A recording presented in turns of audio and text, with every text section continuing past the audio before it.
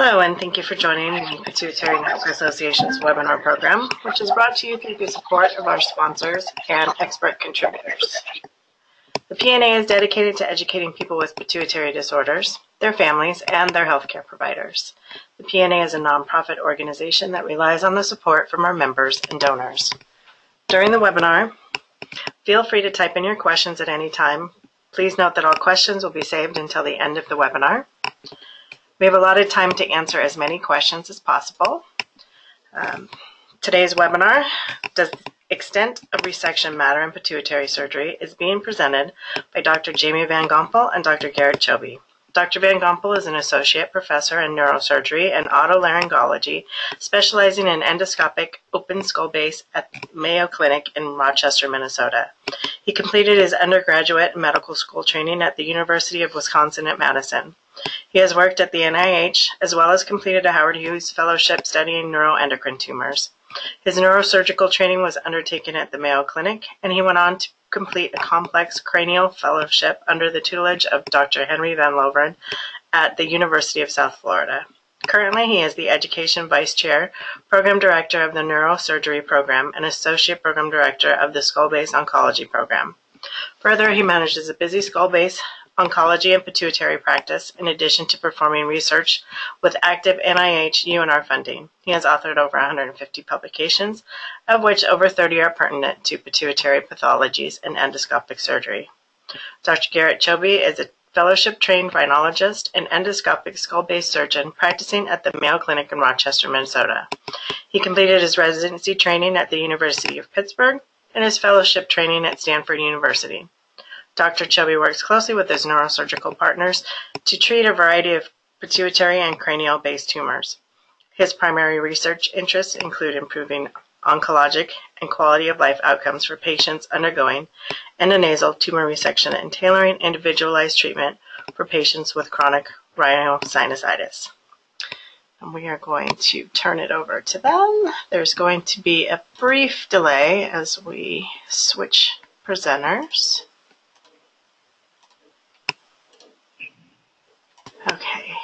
You should see on your end to accept.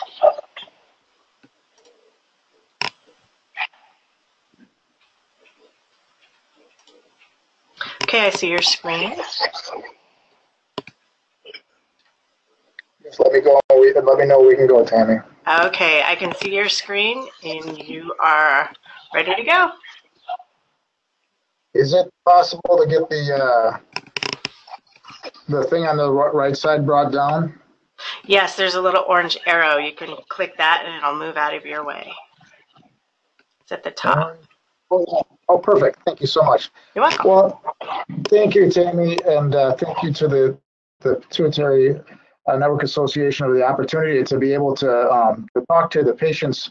Uh, and I, I, really am uh, an admirer of this of this series because um, you know I was in, in preparation for this watched the uh, like I think greater than 25 videos of just spectacular content that's been generated over time. In fact, it was very difficult to find a, a subject matter that uh, was not discussed before, and I just applaud the the efforts for such a complete uh, database of um, of uh, pituitary knowledge available to the to those members of the association. And again, um, uh, happy that we're able to participate in such a great project. Um, with uh, with that, I will say that uh, uh, I wanted to present some research that we've done over the years, uh, looking at the extent of resection uh, and does it matter in pituitary surgery. And um, we're coming to you from the Mayo Clinic in the Great White North. Uh, very cold. We're, we're thawing out up here, so it's I've had a lot of time to think about and, and put some time into this talk.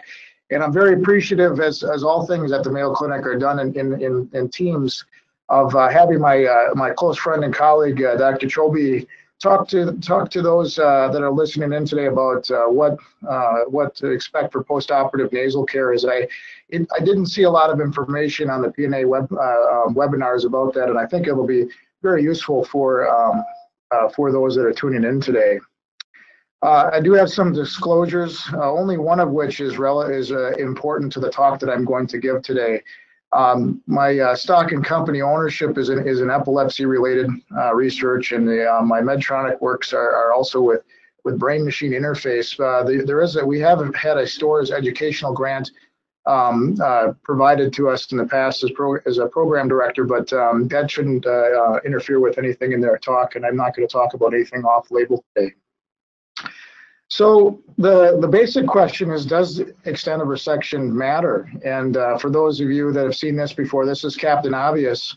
Uh, and, you know, of course, uh, extent of the resection matters. And, and realistically, unlike a lot of other tumors that we deal with, um, how much is a very pertinent question in, in this benign uh, disease. And obviously, some extent of resection matters because why would we take anybody to the operative theater otherwise? Um, and this is a, a classic example of, uh, in fact, one of the first patients that I treated at the Mayo Clinic about uh, seven years ago, uh, which a 59-year-old woman uh, presented with uh, severe vision loss, as you can see up here in the right-hand corner, where there's so these black spots correspond to areas this person couldn't see, and underwent an MRI and some um, lab uh, analysis that she had a, a fairly normal pituitary function with uh, not an elevated prolactin, which is very important for some of these tumors, as some of these can be treated by medications.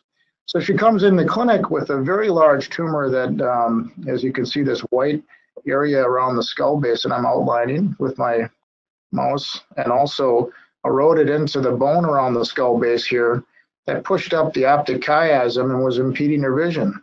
The problem is with this tumor is that I don't think there's a place on earth anybody could go, and not even the Mayo Clinic, to have it all completely removed.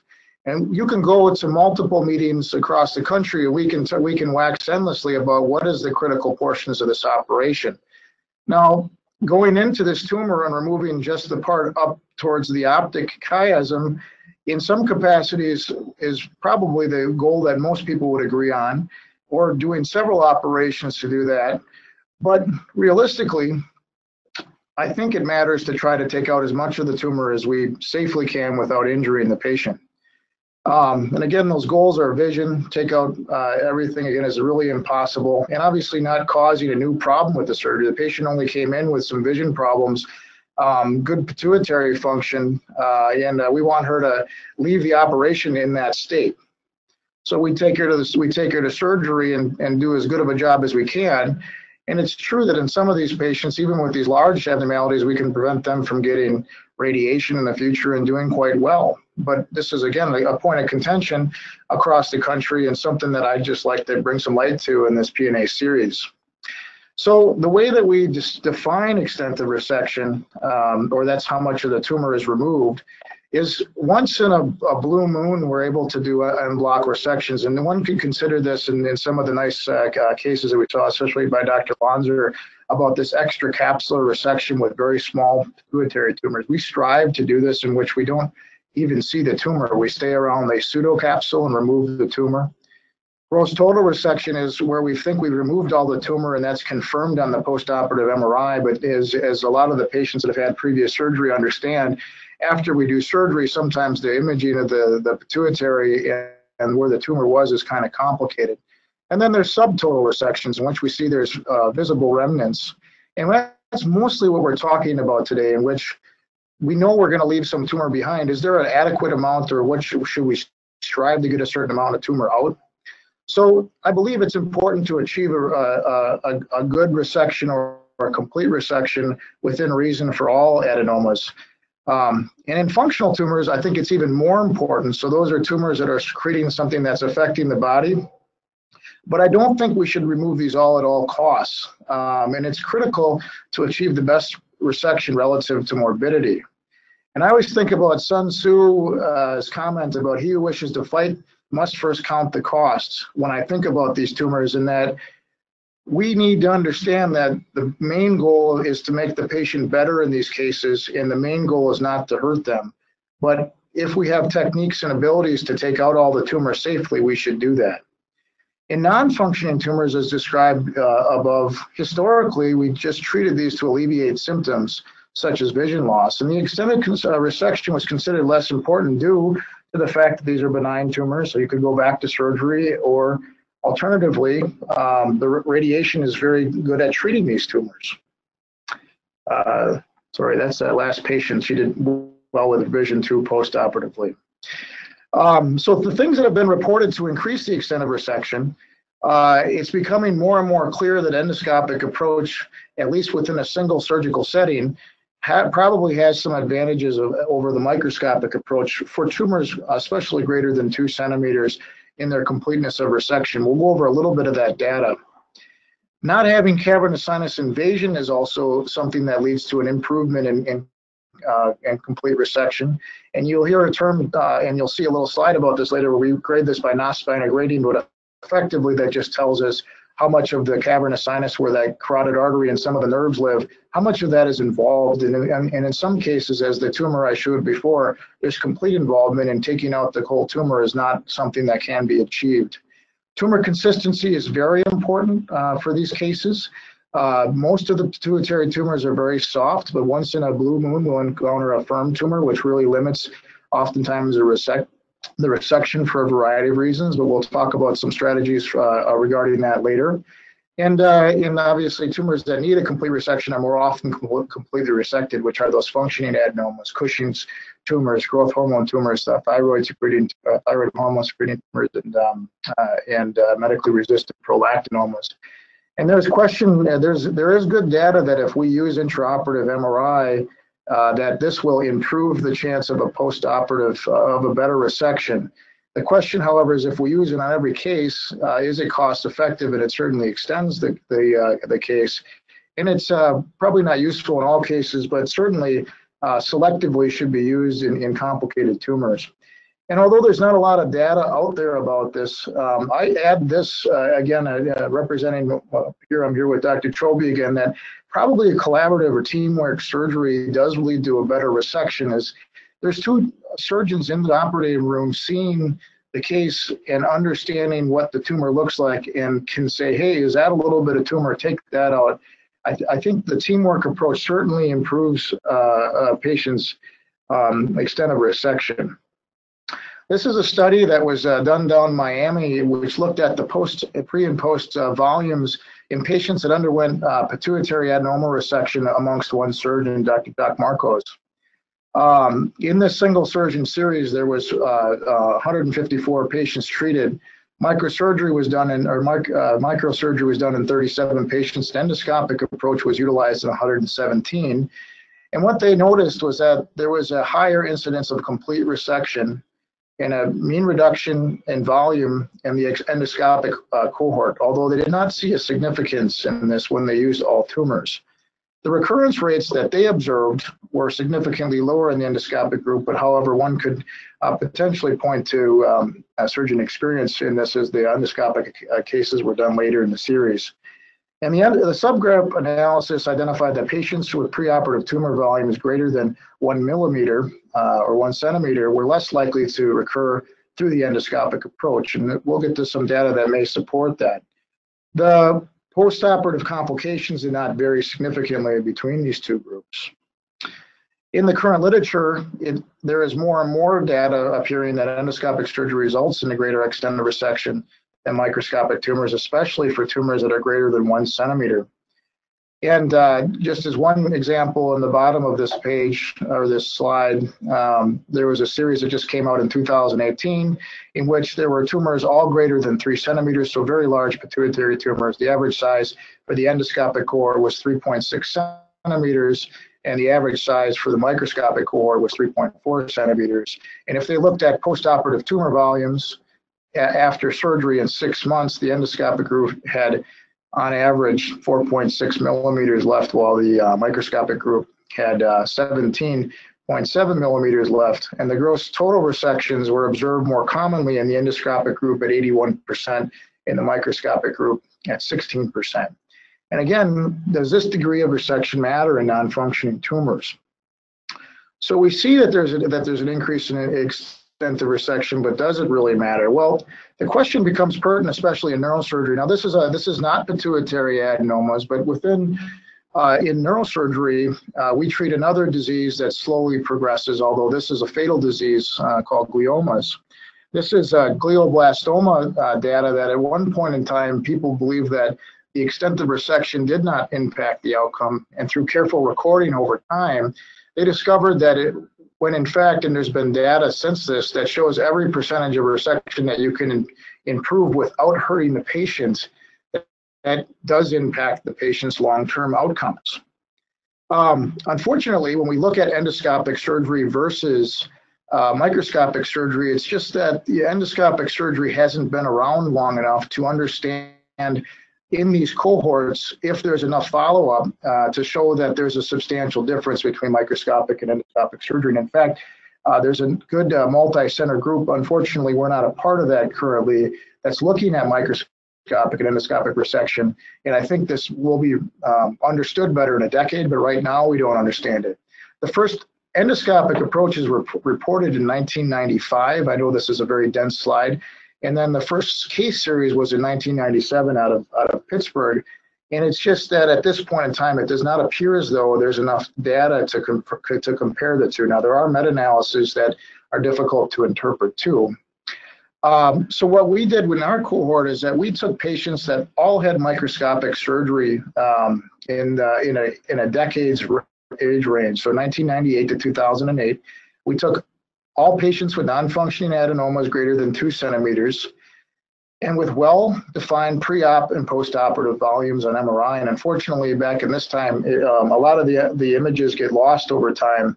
Uh, but we um, had at least a decade to, to understand if they needed another treatment. And our outcome measures for this were repeat surgery and radiation. And again, getting at the surrogate does extended resection matter in a non-functioning adenoma or larger tumor um, when we looked at the two groups, uh, we looked at multiple factors. And in this particular slide, in 78 patients, there was a group that did not grow over the appropriate follow-up time and a, and a group that did grow. It turned out that older patients had less likelihood of having their tumor grow over time. Um, those with nostril or cavernous sinus in, uh, invasion seemed to have more common growth over that time, although that did not bear out in multivariate analysis. And it looked like there was a substantial difference in the extent of resection in which those patients received that did not have growth. And of course, in this group, when we looked at those with gross total resection, there was less chance of a, a recurrence in that, in that circumstance. When we looked at this more in a more detailed manner with multivariate analysis, it turned out that age, so being older, had less chance of recurrence, and extended resection were the only things that mattered in um, the uh, the lack of a secondary treatment for this. When we looked at the data linearly, it appeared as though there was a, a threshold, although you can do this with a lot of data, of at least an 86% resection threshold being the, the potential um, threshold in which one needs to achieve to prevent a potential second operation or radiation therapy for the patients. So our conclusion from the study was that extended resection does matter uh, to prevent another therapy, but what we did not look at in the study is if the complications went up from increased resection, are you worse off? And I think the answer to that is yes. Um, so you should only take what you safely can. And the impact of the second treatment on on um, on on the patient, so radiation or second surgery side effects, uh, which this uh, this cohort was not set up to look at. And finally, I just want to emphasize these tumors are benign tumors. All of these strategies lead to good quality of life long term, and that is what we're up against, that we want patients to get back and be normal, the best that they can. Um, this is a case in which I, I, just want to prove the point that invasion matters. This, this is a young lady that had a growth hormone secreting tumor, you know, very large tumor in which we, she underwent three surgeries because it was a functioning tumor to get her down to a very small residual in which we knew we couldn't remove part of the tumor, this part that's wrapped around the carotid artery. And still to this day, after even radiation now, after proton beam therapy, she still has probably positive disease. And unfortunately, this extensive resection resulted in her uh, not needing a secondary medication to control her, her uh, disease. And what this slide represents is different grading systems that have that have shown and to emphasize over time that when surgeons talk to each other, what I think indirectly we all recognize that some things do matter in terms of how we can how we sometimes cannot take out all the tumor. And this is that common Knosp classification system or Knosp-Steiner classification system. And what you look at is here's a tumor that's completely within the pituitary gland and should in most circumstances be removed completely. And these are varying degrees of involvement of the area in which the carotid artery and the, and the nerves uh, live. And in those that there's complete encasement, we, we know that we cannot, even though we can sometimes take out all the visible disease, oftentimes there's still disease in the areas that we're touching around the nerve. Um, for smaller tumors, uh, finding it really does aid the extent of resection, and we see this time and time again. And I, I, I want to applaud Dr. Lonser's um, excellent uh, talk about uh, uh, Cushing disease, and that really, if we know where the tumor is, we have such a higher chance of curing the patient. And, and, and there are things, so Mayo Clinic currently has the, uh, the only um, uh, approved uh, for clinical use 7T MRI in the United States. And this has already made an impact in our ability to treat some of these patients in which they come through with MR negative disease and we see the tumor on the follow-up imaging and they give us a lot more confidence and ability to first remove the whole tumor but on top of that limit the amount of impact to our surgeries on the patient's pituitary gland or even cause a secondary CSF leak. We do um, believe also that tumor uh, stiffness or firmness affects the extent of resection. And what's, uh, you know, we use these weird terms all the time about stiffness or firmness of the tumor, but, you know, it's true that most adenomas are soft like jello or cream of wheat and that we'll go in with uh, two suctions or sometimes curettes and suctions and just be able to suck most of these tumors out. And it gives us a great ability to tell the difference between that and the pituitary gland, which is commonly more uh, more firm and, and it gives us this textural difference. But there are about 5% of, of uh, patients that have stiff or fibrous tumors. Now, when they're small tumors in, in the pituitary gland, it's not a big deal. But when they're larger tumors, they're, they become very difficult to remove and they give us less confidence uh, when we're taking them out.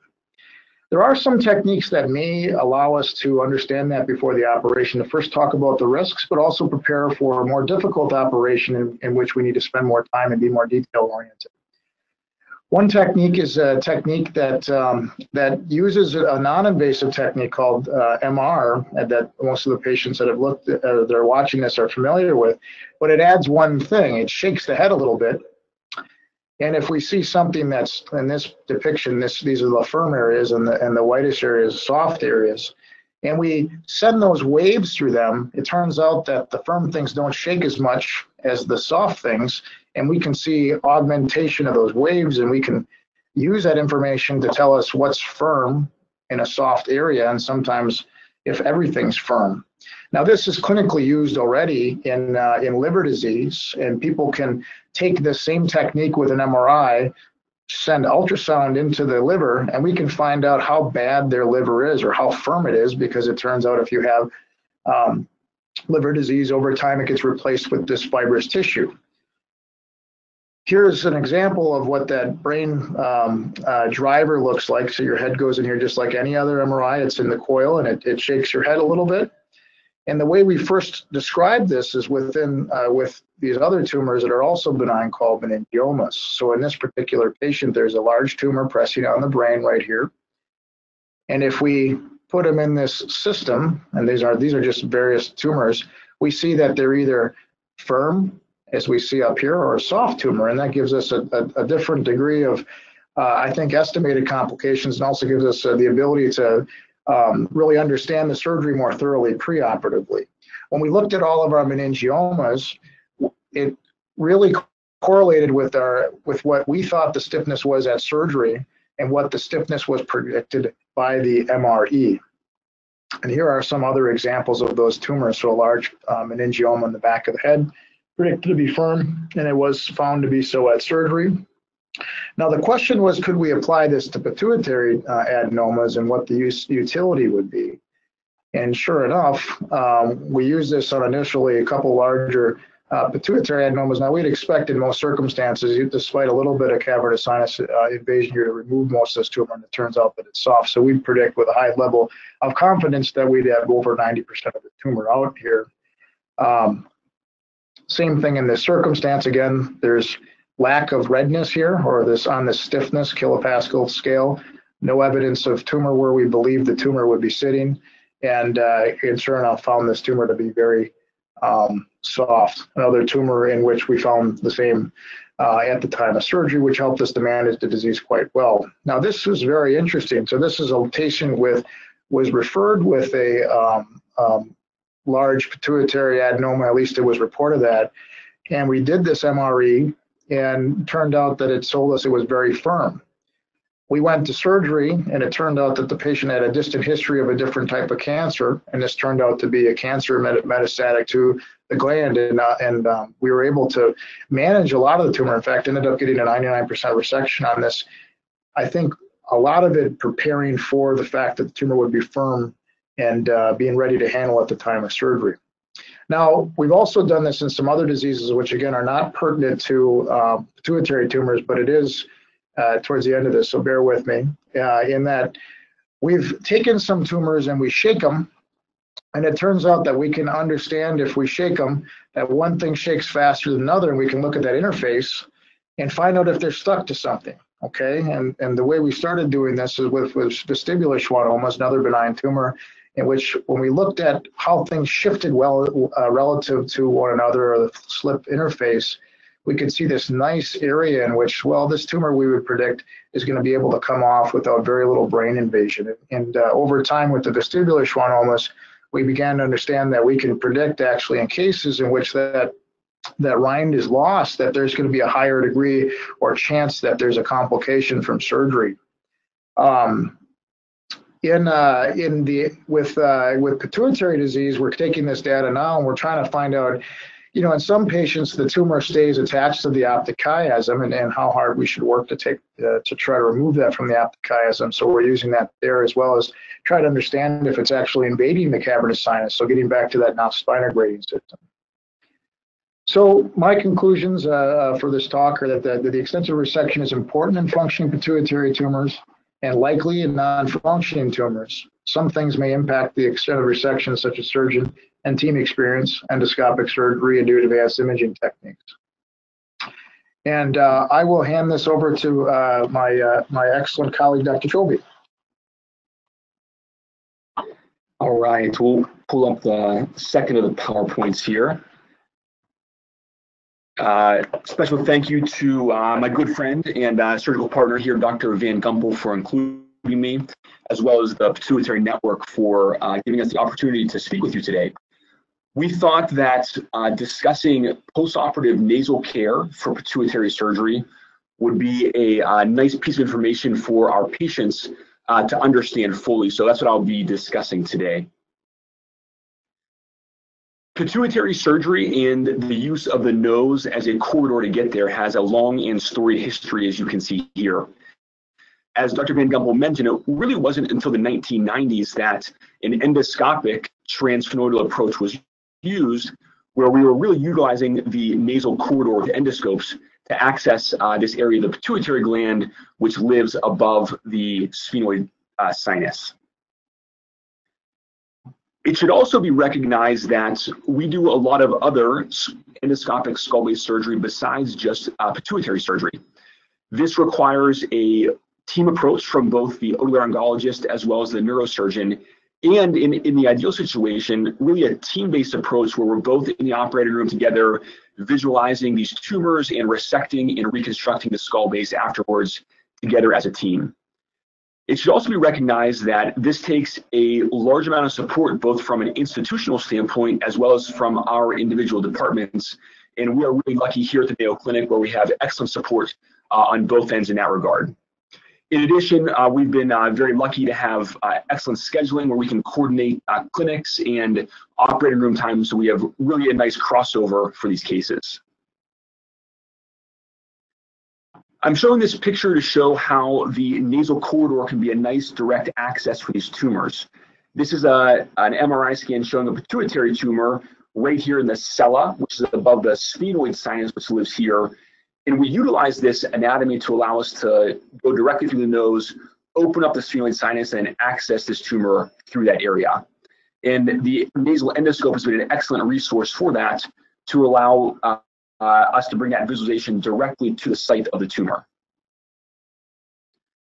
There are a number of preoperative imaging studies which are important to understand ahead of time. Uh, we like to look at the nasal anatomy to determine how difficult the access will be for a given case. In this particular CT scan, as you can see here, the nasal septum is quite deviated over to the patient's left side, and that will require us straightening the nasal septum in order to get access more posteriorly in the nose. In addition, the way the sphenoid sinus develops is also very important. What you'll see here is a septation through this area, which connects directly to the carotid artery which lives here. That's important for us to know about ahead of time so we can work very carefully as we open this area to gain access to the pituitary gland without creating an injury to important stru structures such as the carotid artery. In addition, we like to really understand how the sphenoid sinus has developed. You can see in these images, this is a, a poorly pneumatized sphenoid sinus, which would require a lot of bone to be removed to access the pituitary gland, as opposed to this one over here in uh, figure B, as you can see, where it's a nice well-pneumatized sphenoid sinus, which makes access easier to the pituitary gland here. This is a, a picture of a case of Dr. Van Gompel and myself after the nose has been opened and the sphenoid sinus has been opened. And now we're looking directly onto what we call the sella. And the pituitary gland lives directly behind this bone here. And this is both sphenoid sinuses being open completely. So you can see this nice access that we have here. You can see another example here of some more well-defined anatomy. This is the carotid artery that lives right here. The optic nerve, which gives you vision, lives right here. And here's that pituitary gland living right here, uh, right between these as if they're goalposts uh, it's this tumor. Here is uh, one of Dr. Van Gompel's and myself's cases where we're accessing uh, the pituitary gland. What you'll see here is the nice advantage of having this endoscope where I'm holding the endoscope here. Dr. Van Gompel is working at drilling some of these septations down, and you can see the excellent visualization that we have here in this particular case.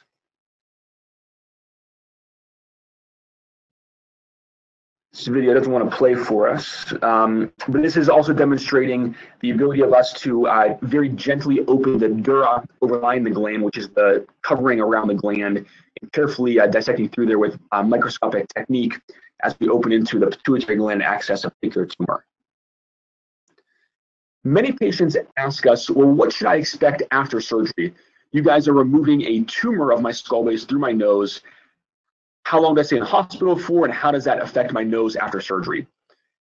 Typically, for most cases here, the average hospital stay is approximately one to two days, assuming the patient does well after surgery. Most patients do experience um, mild to moderate headache after surgery, and there is some nasal drainage. Typically, this is blood tinged uh, and may last for a few days after surgery as the nose continues to heal from the surgery performed.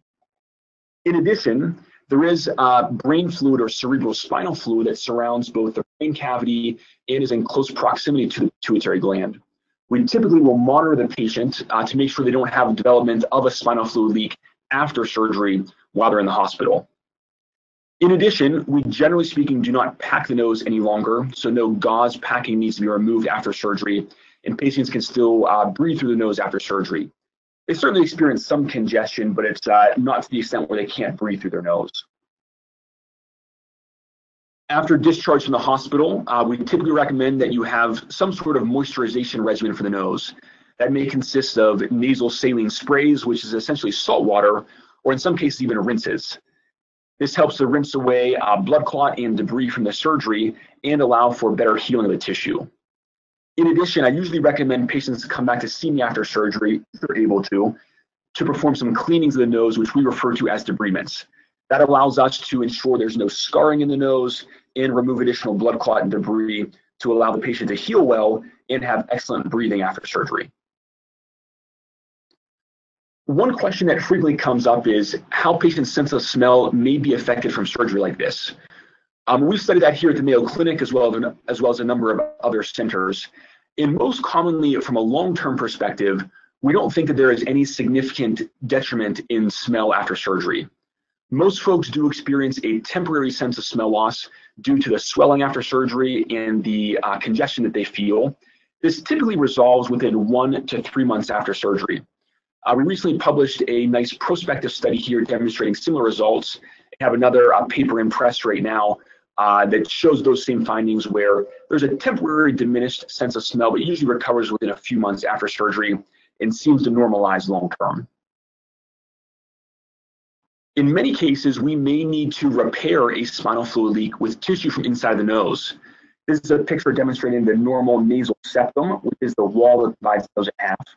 And frequently we may borrow tissue from this, as you can see in this uh, photograph down here, where we'll rotate that and cover over the area of tumor resection to close off or seal a spinal fluid leak after surgery. In cases where we need to borrow tissue like this, we call that a nasal septal flap. That usually um, exposes you to some nasal crusting, which can go on for a few weeks after surgery.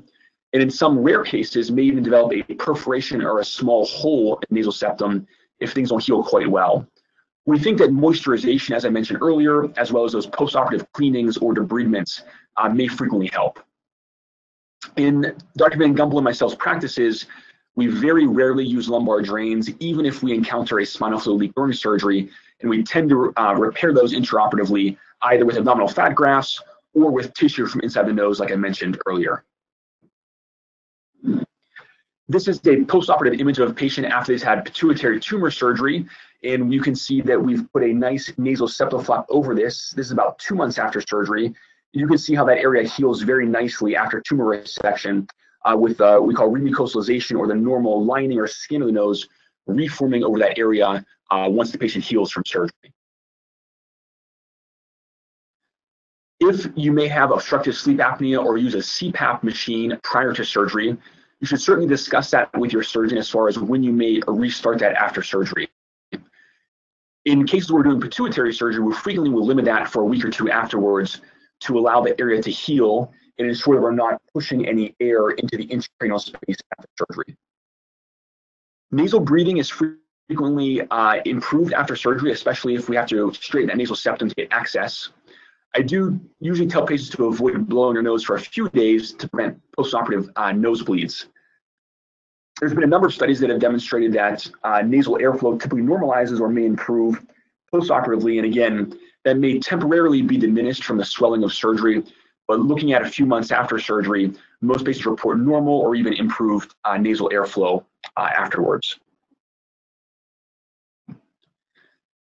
In summary, as far as nasal care following pituitary surgery, I would stress the importance of having surgery at a team where the neurosurgical team and the otolaryngology or ENT team work very closely together. I think that having two sets of eyes and four hands working at the same time really gives you the optimal outcome. The nasal corridor provides an excellent access to the pituitary gland. And although you may have some temporary congestion or diminished sense of smell afterwards, those things tend to normalize after a few months, and you have the opportunity for long-term excellent sinonasal function following uh, this kind of surgery. Again, Dr. Van Gompel and I would like to uh, thank uh, the Pituitary uh, Network for inviting us here today and our uh, contact information is included here. And anyone who's listening today that would like to have additional questions after the Q&A session, uh, maybe feel free to reach out to us afterwards. And I think we'll turn it back over to Tammy to field any questions that may be coming through uh, from the webinar. Thank you so much. That was excellent. Uh, we do have some questions. Uh, first question is, can the soft versus stiff, stiffer tumors be detected on MRI? There is uh, information that you can indirectly use. Um, so there are some papers out there about the T2, which is one of the sequences that that that uh, that is commonly used for diagnostic imaging. That if it's very bright on that, it may suggest that it's a soft tumor. Um, there's a nice study, I believe, by Dr. Zada at UCSC about that. Um, and I think there's some things that you can indirectly look at and, and get an impression. But there's certainly tumors that surprise you still. And I, I think if you talk to a, a number of um, experienced pituitary surgeons out there, um, they all believe that you know that there's certainly that that five percent oftentimes kind of sneaks up on you. I don't I don't think anything's reliable right now. Okay, thank you. Uh, my second surgery for a non-functioning my macroadenoma was endoscopic. The worst part of the experience was the catheter I had to have in place for three days after surgery. The surgeon insisted that it was necessary. Is that really the case? My first resection was microscopic and no catheter was used. So I, I didn't know what catheter they used, but I suspect it was a Foley catheter. There was a short period of time in which uh, a lot of people were using those we've I've never been in a in a scenario in which I've used the cath the if it's a nose catheter. I maybe they're talking about a Foley catheter in their in their um in, in their bottom, but uh, but the um the the nose catheters it was found that I you know they tend to compress too much on the surgical site. Um, they tend to cause problems themselves, and they're very uncomfortable. I think uh, in general, at least our practices and a lot of practices have moved away from packing and found it to be unnecessarily. And actually, one of the most miserable parts of the experience is the nose packing. Um,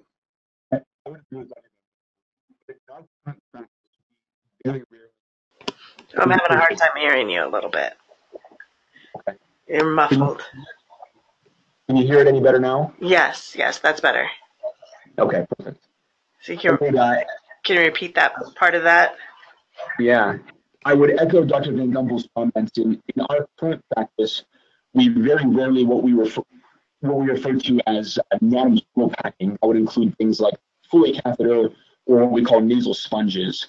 We rarely use those, and we've gone mostly to what we call absorbable packing, which really stays high in the nasal cavity of a tumor site and tends to not impede uh, nasal breathing afterwards. So very rarely do we have to resort to using things like a Foley catheter or otherwise uh, in the majority of cases.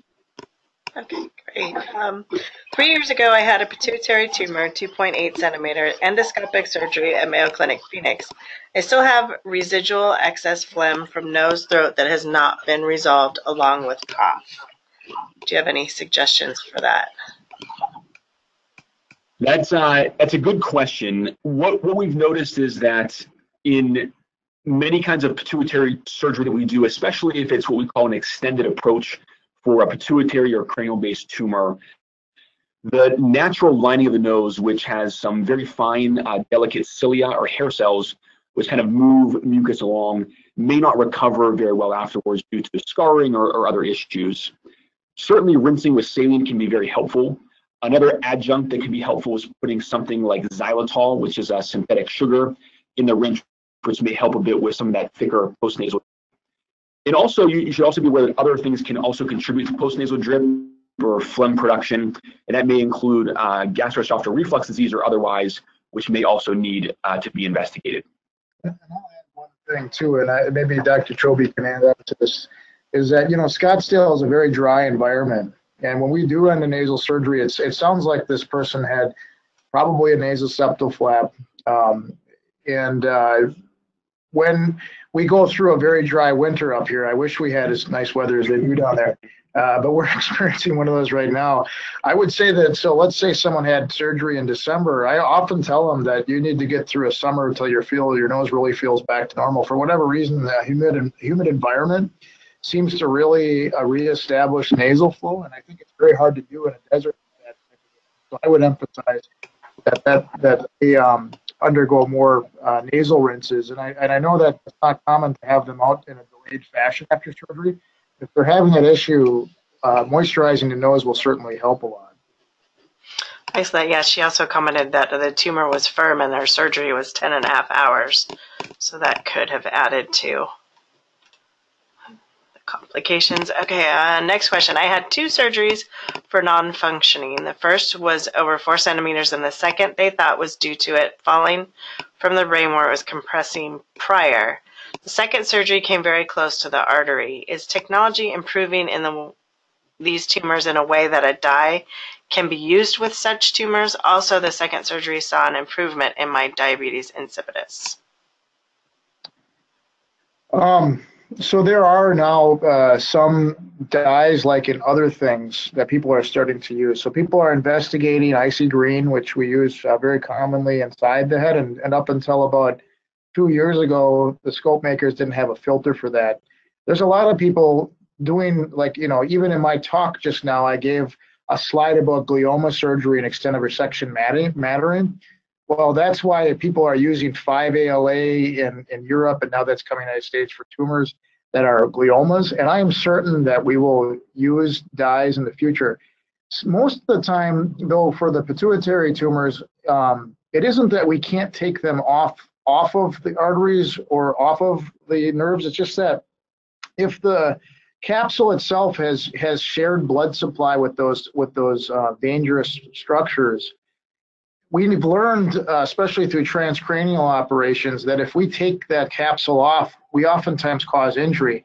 And in those circumstances, your a dye isn't going to fix that. In fact, it might lead to more injury by telling us it's tumor. Very commonly, we just know that there's a higher risk based on prior, um, uh, obviously prior surgeons that have done these, but also uh, the, the case at hand that taking out that little bit of extra really hasn't changed the patient's outcome. Um, but I think there's an awful lot of opportunity for dyes in the future, especially I would say for less experienced uh, surgeons to understand what what more tumor can be removed. Excellent, thank you. Um, going back to that last patient, um, she actually lives in Albuquerque, uh, 6,200 feet elevation, and uses a CPAP. Does that possibly have any effect on it? Yeah, it, sounds it sounds like she is uh, sort of, in, in many ways, the, the poster child for uh, having some of those dryness and nasal issues.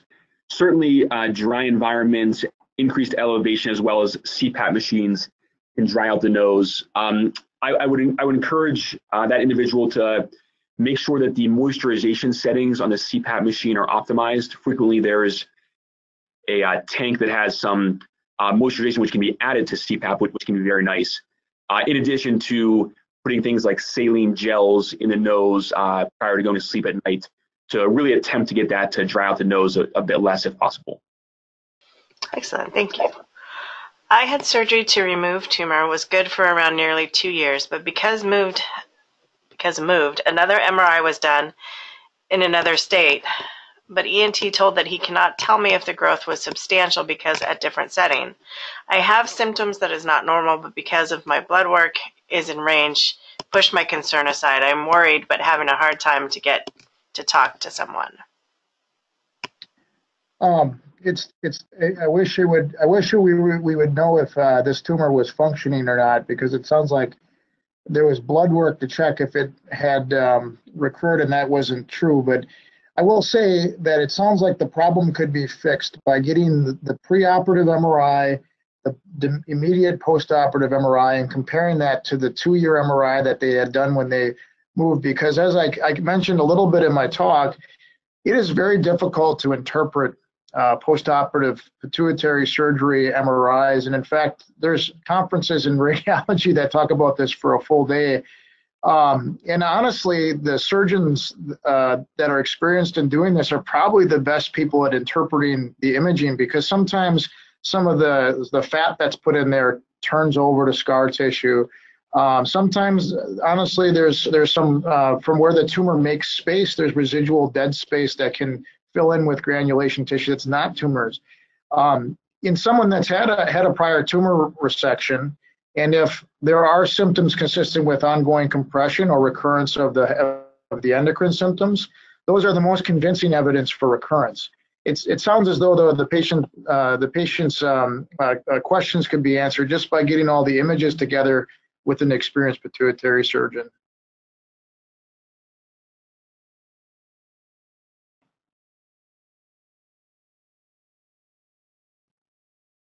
Did we lose you? Hello? Can you hear me now?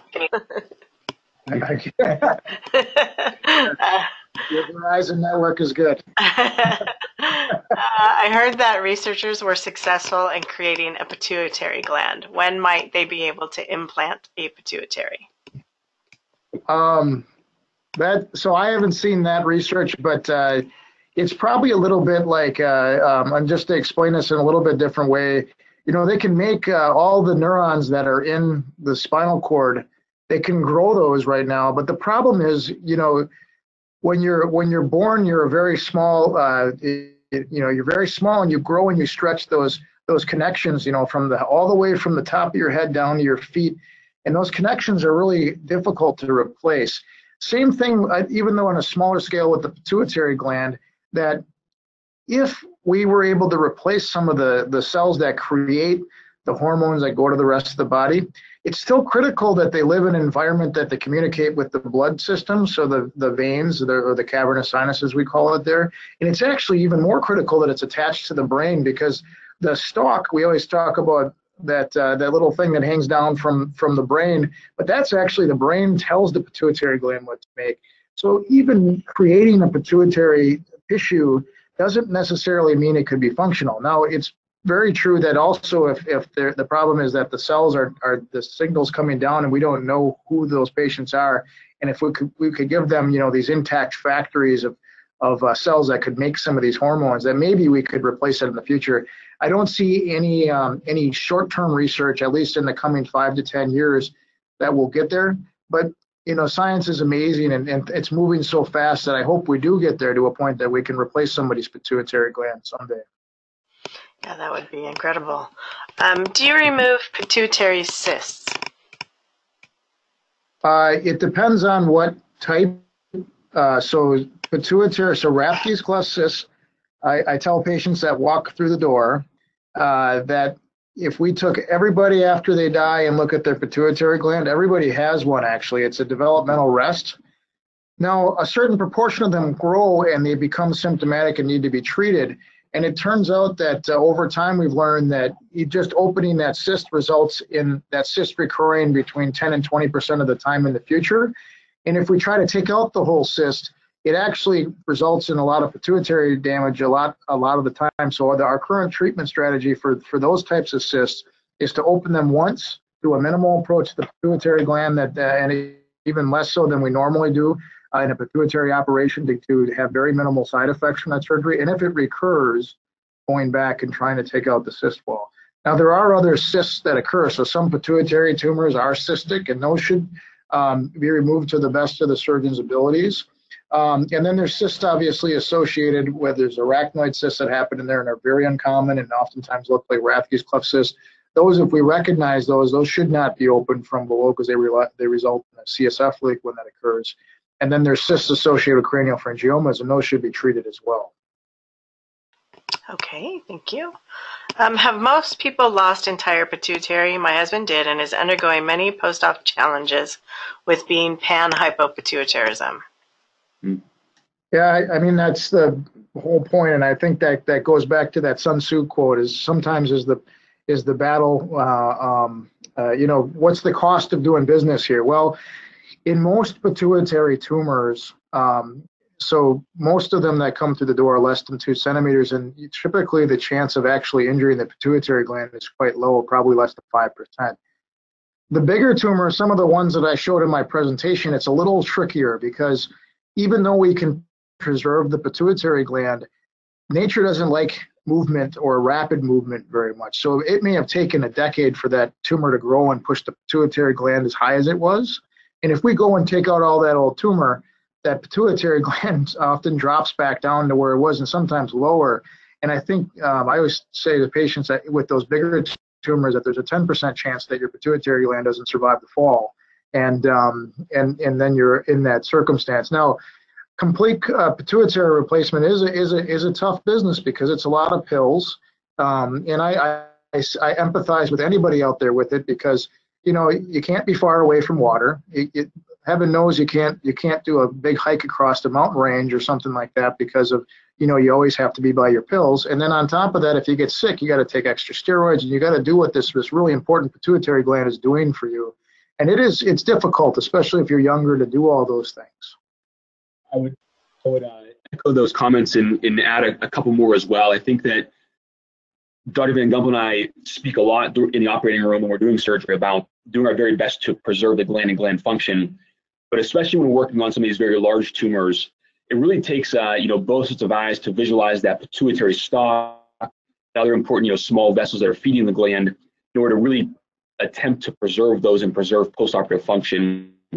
And I can't agree more that you, know, you really have to think to yourself, what, what are the goals of surgery in every particular case? You know, you, you want to get as much tumor out as you can, but whenever at all possible, uh, maintain that function because it, it is a bear to deal with afterwards uh, with with again hypopituitarism. Add one more thing that if we know that picking that last piece out is going to cause that pituitary dysfunction, if I know it's a non-functioning tumor, I, I would leave that alone 100%. Uh, because of that reason, we can always come back. We can always do radiation. The problem with radiation is that it oftentimes results in pituitary failure as well. um, the radiation results in what I would call a gentler form of, of uh, pituitary failure. Okay, next question. Uh, I have a one centimeter by 8.5 by 5 millimeter non-functioning macroadenoma. I have high cortisol and high prolactin, no Cushing's. My endo thinks surgery is the next step and I cannot conceive or go through egg retrieval as the pituitary gland will double in size during pregnancy and will be too risky. My neurosurgeon advised surgery is too risky at this stage given I have no visual symptoms. I am 36 and have not had children as yet. What do you feel is the next step for me? So I heard the dimensions of the tumor is one centimeter by what? One centimeter by 8.5 without a, uh, a clue there is it's whether it's millimeters or centimeters by five millimeters. So that middle number, I don't know if it's millimeter or centimeter. Um, so it, I, I'm assuming that it's, not- Sorry. it's, it's, yeah. Um, so, th- so first off, it's, it's barely a, a macroadenoma at one centimeters. Uh, we sometimes, uh, observe some tumors and I, without seeing the imaging, it's very difficult to know because the the other thing that, um, so the prolactin's probably a little bit elevated because it's pushing on the stalk. The cortisol being elevated is concerning and If, if she doesn't have the diagnosis of Cushing's disease, that needs to be figured out. And I think that would require, a- like I work with, we have five or, or sorry, more than that. We have, I think we have five to eight um, pituitary specialists. Someone needs to weigh in on that because if you have elevated um, cortisol, it actually has a risk um, not only to, to, to mom, but a, a baby as well.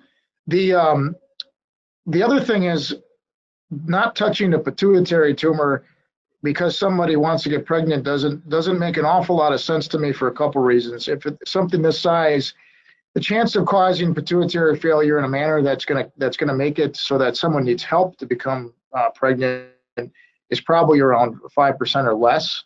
And um, and obviously in this circumstance, we'd be even less aggressive with the tumor, knowing that the goal of the surgery is diagnosis here. It sounds like and decompression, but the other thing that I think people don't realize is that you can still become pregnant without a pituitary gland. It's just incredibly expensive.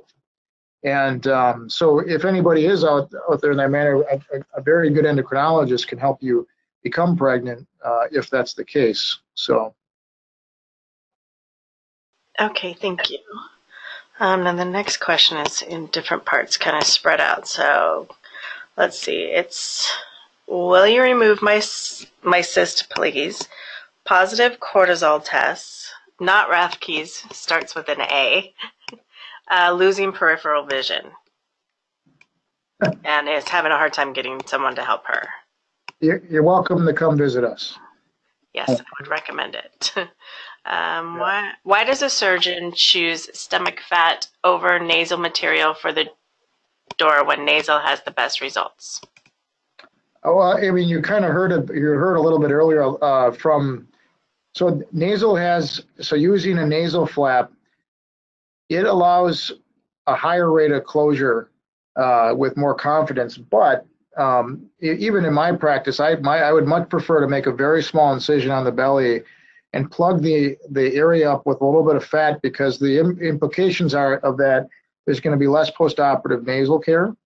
Um, and I, I also believe that it's just it, it in that circumstances we've been doing that for so long and it works so well and it seems to have patients recover so you know a little bit quicker that it makes sense. Now I, agree with you if, if you're you know if if you value less incisions, not making a small incision on your belly makes a lot of sense and using the tissue inside your nose. But uh, maybe Dr. Choby can can weigh in on on the long term you know I, again of the morbidity of it. That's excellent question. And uh, in our current practice, uh, we use a lot of nasal septal flaps, um, especially in larger cranial-based tumors that are not pituitary tumors, where we're creating uh, very large holes or defects in the cranial base. We certainly use use those in in nearly every one of those cases. Our current practice is for pituitary tumors that have what we consider a high flow CSF leak, or there's a you know large volume of spinal fluid coming through we do tend to use nasal septal flaps for those cases.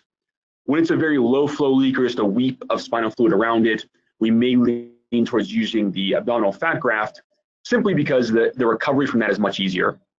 With a nasal septal flap, there is, you know, at least a four to six week long healing phase where there's uh, nasal crusting, perhaps nosebleeds, congestion, those kind of things, as that exposed cartilage in the nose needs to heal. Certainly, debridements and moisturization can help with that, but it, it, it's not a, a completely benign uh, process to heal from that. Now, compared to having, you know, tissue other, other parts of your body, body used for this, it has lower morbidity than that. But uh, unless you really need it, we, we may lean towards the abdominal fat graft for the better ability to tolerate it for most patients in those cases where it's a very small or a low flow spinal fluid leak. Okay, thank you. I heard that radiation may cause stroke and issues, so my surgeon does not want to use it. Um, so just to preface this, I'm not a radiation oncologist, uh, but there's a, a small chance that some forms of radiation can uh, lead to the vessel closing up over time, um, which may cause stroke. It's a lot more common with malignancies, especially in the neck, uh, where they use a lot of higher doses because it hurts the vessels more. Um, the doses that are used for uh, pituitary tumors are they're not the same dose. It's a lot less, uh, which also seems to have less of that problem. Now, if it's single session radiation or gamma knife irradiation, which is what's most commonly used, that has a very low risk to the carotids, um, to be quite honest with you.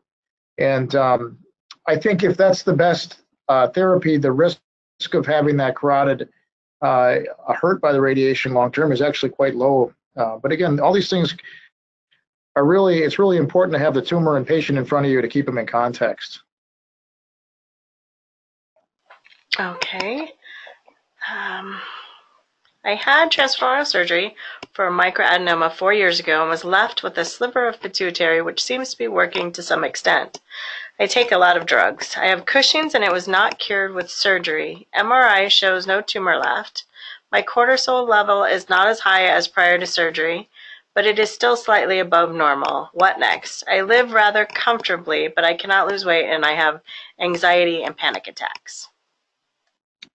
Um, so that's a very uh, common problem across. Cushing's disease is very difficult to treat. Uh, like I said before, I really enjoyed Dr. Lonser's presentation on it. I think he did a very balanced uh, discussion about it. Um, and uh, there are centers like the NIH uh, that I don't know if they any longer take um, treatment resistant Cushing's, but we certainly see an awful lot of treatment resistant Cushing's. And they're very complicated situations. If you're mildly elevated, very commonly medications can actually bring you into a normal level. And I think it's important, especially for cortisol, for cortisol secreting tumors, because you know that excessive um, cortisol is known to shorten one's life. So I think it's important to get it under control. Now it sounds like you've had very aggressive operations. The the ultimate treatment um, if they can't control it, would be to remove the adrenal glands in, in the belly. And it's very it's very uncommon in my experience from patients that that have been to other centers to hear that option. And that's a very definitive way to treat the excessive cortisol uh, secretion is obviously take out the end organ in which it's secreting it. Um, but they're very complicated discussions. It's also important that uh, to have someone, um, you know, a balanced team take a, take a look at that. And I would recommend it's it, it, usually when you're in your situation, you've seen several uh, different specialists.